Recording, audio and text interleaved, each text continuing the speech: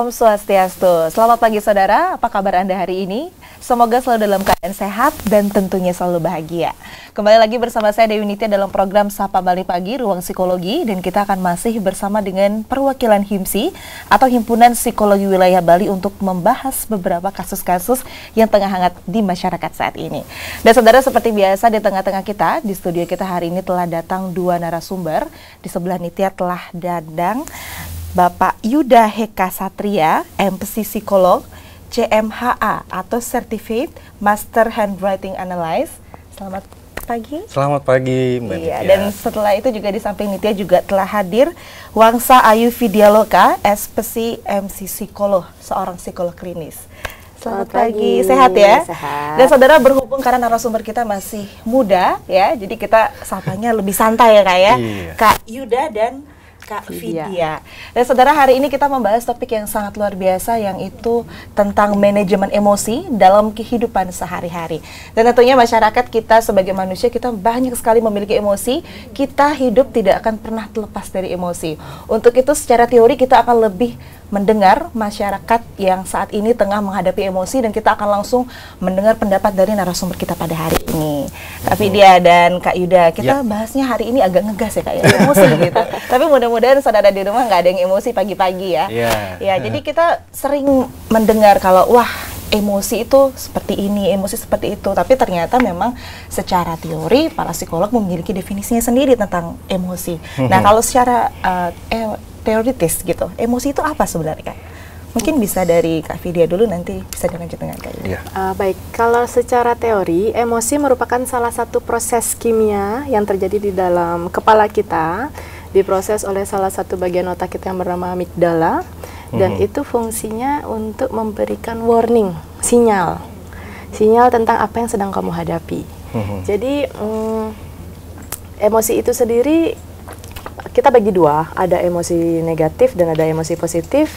Tetapi untuk semua manusia yang paling harus dipahami adalah empat emosi dasar dulu deh. Hmm. Empat emosi dasar dulu dan mungkin bisa Kak Yuda menambahkan emosi Ya, dasar. jadi sebenarnya kalau bahasa lebih praktisnya itu adalah emosi sendiri itu adalah reaksi terhadap rangsangan dari luar ataupun juga dari dalam diri sendiri. Jadi nanti akan keluarnya berbentuk perasaan ataupun pikiran. Benar tadi kayak Kak Vidya bilang bahwa emosi itu nggak melulu loh suatu hal yang sifatnya negatif. Iya. Karena sering kali orang bilang kalau misalnya, aduh saya lagi emosi nih, maksudnya marah gitu. Iya. Padahal tidak selalu emosi itu kaitannya hal-hal yang sifatnya negatif, tapi juga ada juga yang kaitannya positif. Empat dasar yang kayak tadi eh, Kak Vida bilang bahwa emosi itu ada empat eh, basicnya yaitu senang, sedih, kemudian juga takut dan juga marah. Dan hal ini nantinya eh, bisa mempengaruhi juga bisa jadi emosi yang positif ataupun emosi yang negatif, tergantung situasi, bagaimana kita melihat situasi. Baik, ternyata berarti emosi itu tidak selalu negatif gitu ya. Karena kan Benar. kita yang selama ini dengar, benar kata Kak Yuda tadi ya, oh Iya. aku lagi emosi nih gitu. Padahal emosi tidak melulu marah, tapi ternyata ada emosi lain ya. Tadi ada senang, kemudian ada sedih, ada marah juga, dan ada takut. Nah, kalau untuk kita masing-masing itu kita penting sekali berarti untuk bisa mengenali emosi kita ya Kak ya. Benar, iya. Gimana Kak Vida? Penting sih. Jadi, jadi gini, kembali lagi bahwa emosi adalah reaksi. Sehingga kita tidak bisa menempatkan emosi lebih dulu daripada apa yang memicunya. Baik. Oke, jadi di sini udah paham pemicunya apa, baru muncul reaksi. Reaksi itu adalah emosi gitu. Ketika kita merasakan sedih, kan empat dasar tuh, sedih, marah, gimana? Takut, marah, sedih, Sedih, bahagia, bahagia, kan gitu betul. kan. Masing-masing emosi penyebabnya berbeda, Mhm. gitu. Jadi ketika kita marah, penyebabnya berbeda dengan ketika kita takut Mhm. itu kita pahami dulu reaksinya. Kenapa itu penting untuk mengenali cara meredakan emosi itu sendiri? Berarti beda beda penyebab, beda juga cara meredakan emosi itu ya Kak ya. Beda emosi, tentu saja beda penyebab. Baik, dan Caranya bedanya juga juga, cara, ya. iya. Jadi seperti itu. Kenapa itu penting? Ketika kita bilang teredamkan emosimu, tenangkan dirimu. Kalau kita nggak tahu penyebabnya gimana? Iya. Oke, itu pentingnya kenapa kita kenal emosi. Ketika kita lagi bad feeling, aku kenapa? Apakah aku kecewa? Apakah aku marah? Apakah aku takut? Apakah aku sedih? Itu beda semuanya. Iya, iya. Jadi itu penting sekali. Baik. Jadi eh, kesadaran kita mengenai perasaan kita sendiri itu penting gitu. Jadi kita bahagia. Bahagia karena apa? Ataupun yang paling sering adalah kita marah. Kita harus tahu sebenarnya kita tuh alasan marah itu karena apa. Nah, ketika kita tahu misalnya alasan marah karena kita misalnya sering disalahkan. Oke, disalahkannya itu karena apa? Nah, eh, apakah itu memang kesalahan dari diri kita sendiri atau sebenarnya dibuat-buat dari orang lain? Nah, kemudian baru ketika kita tahu penyebabnya apa, kita selesaikan permasalahan itu ya. Seperti itu. Seperti itu. Baik, tapi memang uh, beberapa kasus juga ada orang yang aku lagi marah nih. Kamu kenapa? Kenapa kamu marah? Nggak tahu, aku marah aja, nah gitu. Heeh. Dan ternyata itu mungkin salah satu contoh kalau kita belum mengenal sebenarnya apa penyebab emosi kita pada saat itu gitu ya. Benar. Mungkin bisa di-sharing juga ke saudara di rumah sebenarnya hal paling sederhana apa sih yang bisa kita lakukan untuk bisa uh, mengenal emosi kita sehari-hari gitu kan.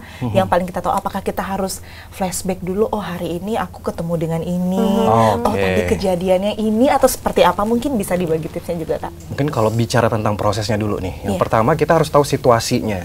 Situasinya itu seperti apa? Apa yang membuat kita marah? Pertama misalnya nih, eh, saya marah. Eh, situasi yang saat ini sedang terjadi apa? Oh ternyata misalnya pasangan saya jalan sama orang lain. Wah Waduh. cemburu, marah gitu kan? Cemburu. Oke situasinya pasangan saya jalan dengan orang lain. Kemudian kita kenali pikirannya, pikiran. Eh, apa yang kita pikirkan pada waktu itu? Oh, dia jalan sama pasangan saya jalan sama orang lain. Wah, jangan-jangan dia sedang selingkuh nih, Wah. gitu kan? Dari pikiran itu kemudian menjalar ke emosi kita. Akhirnya yang keluar adalah emosi yang negatif, benar ya Kak Vidya ya. Kemudian ketika emosi negatif, ada bentuk action atau reaksi kita. Reaksinya apa? Reaksinya adalah saya mulai stalking misalnya atau melihat eh, pasangan saya di mana, saya tulis, saya chat gitu kan. Kemudian saya telepon-telepon pasangan saya gitu kan. Kemudian ya setelah itu kita baru tahu nih, oh ternyata hal ini juga kurang menyamankan diri kita gitu kan. Jadi ki- pertama yang paling eh, penting adalah kita tahu dulu situasinya seperti apa. Iya. Kemudian apa eh, apa yang kita pikirkan pada situasi itu? Kemudian kita mau memilih apa nih? Apakah kita mau memilih eh, menjadikan emosi yang baik atau netral atau menjadikan emosi yang negatif? Oke, kalau marah eh, yang kita pikirkan pada waktu itu jangan-jangan dia sedang selingkuh nih. Ya, kita bisa cari waktu sebenarnya. Oke, saya sedang eh, kayaknya dia sedang selingkuh misalnya. Saya coba untuk eh, jeda sejenak eh, untuk berpikir secara jernih. Nanti ketika ada waktu baru komunikasi ke pasangan. Sehingga nanti emosi yang kita berikan juga akan menjadi lebih positif gitu. Oh, ternyata enggak ini hanyalah perasaanku saja gitu. Baiklah, berarti kita boleh memberikan porsi sejenak beberapa saat untuk emosi kita yang negatif itu dulu ya kak ya, Iya. karena kita jeda sejenak, kemudian setelah kita bisa berpikir jernih baru kita komunikasi gitu ya. Iya. Ya, ber- berarti kalau pada saat kita dalam kondisi emosi negatif seperti marah misalkan, Mhm. itu berarti tidak dianjurkan kita untuk menyelesaikan masalah seperti itu ya kak ya? Atau Ah. bagaimana? Dianjurkan justru, tetapi yang perlu dicatat adalah maksud Kak Yuda adalah pahami apa track record kamu merasakan ini. Baik, iya iya. Mulai dari situasinya apa, kemudian pikiran apa yang me- memanas-manasi hatimu sampai kamu Mhm. merasa marah. Kadang-kadang kan pikiran menjebak. Iya. Pikiran yang menjebak, padahal situasinya sebenarnya sederhana, tetapi pikiran yang membuat emosi menjadi terbakar. Wah, Gitu. Wah, ini kayaknya ada beberapa pemirsa di rumah yang "Ah, kayaknya aku banget ya, termasuk saya di sini.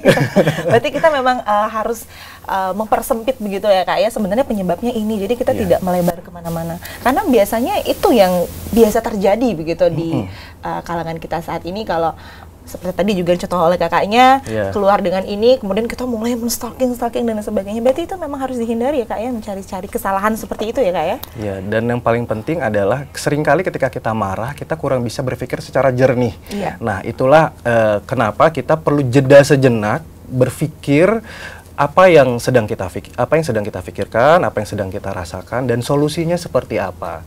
Nah, ketika kita eh, sudah lebih tenang, sudah lebih nyaman hatinya, baru deh kita mengambil sebuah tindakan. Itu akan lebih baik dibandingkan ketika ada eh, hal-hal yang negatif, kemudian kita respon negatif juga, dan akhirnya kita merasa menyesal, terlalu terburu-buru bereaksi gitu, terlalu terburu-buru marah ketika pasangan jalan misalnya dengan ternyata temannya Iya, gitu. Baiklah, wah itu menyesal di akhir itu juga menyakitkan ya. Ya?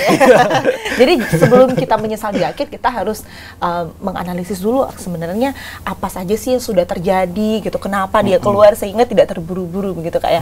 Berarti memang pada saat kita ingin uh, memecahkan sesuatu, saudara, jadi kita harus memberikan jeda uh, sejenak kepada kita yang untuk merasakan emosi negatif itu Benar. baru kemudian kita bisa berpikir gini gitu kayak berarti kalau seperti itu mungkinkah ada perbedaan eh, cara pengekspresian emosi atau mekanisme emosi antara laki-laki dan perempuan kak antara laki-laki dan perempuan pada dasarnya eh, kalau di kalau secara fisiologis kita Mhm. memiliki area kita memiliki bagian-bagian otak yang bekerja dengan cara yang sama. Mhm. Tetapi ini sifatnya norma ya, normatif. Mhm. Perempuan diberikan toleransi lebih apabila dia mengungkapkan ek- mengekspresikan emosinya lebih wow Iya. dibandingkan laki-laki. Mhm. Jadi ketika dibilang apakah ada perbedaan atau tidak, secara fungsi fisiologis tidak, tetapi dari segi normatif iya.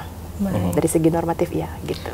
Misalnya salah satu contoh deh, hal yang sederhana. Kalau anak laki-laki misalnya sedang sedih, nggak boleh menangis kayak gitu. Emosi sedih itu nggak boleh ditampakkan di muka umum gitu. Diartikan bahwa ah jangan-jangan anak tersebut lemah kayak gitu atau kurang kurang tegar dalam menghadapi hidup. Padahal sebenarnya emosi itu eh, sewajarnya memang perlu untuk diekspresikan seperti itu. Jadi ya itulah perbedaan sebenarnya antara laki-laki dan perempuan. Ada kalanya laki-laki itu harus bisa lebih menahan perasaannya, ada kala eh, waktu di mana perempuan akan lebih eh, bebas untuk eh, terbuka untuk mengekspresikan perasaannya. Baik, ternyata emosi normatif juga ya kak ya. Normatif Berarti banget. sebenarnya uh, baik itu laki-laki dan perempuan itu wajar untuk bisa mengekspresikan emosi mereka. Wajar. Iya. Kita akan membahas lebih lanjut di segmen selanjutnya kak ya Baik. setelah ini.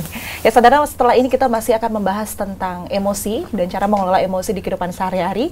Untuk itu jangan ke mana-mana tetap di Sapa Bali Pagi Ruang Psikologi.